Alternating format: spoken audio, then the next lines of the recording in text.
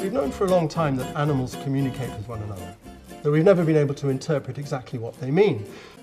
The Google Translate function on Android uses extraordinarily advanced voice recognition software to translate one language into another.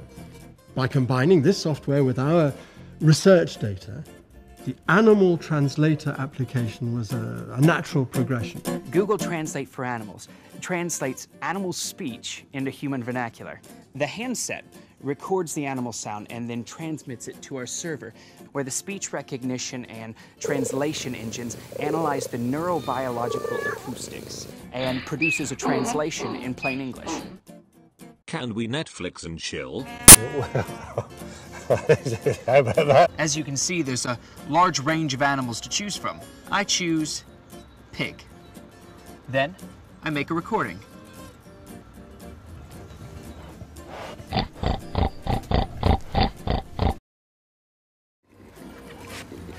New person. Smells good.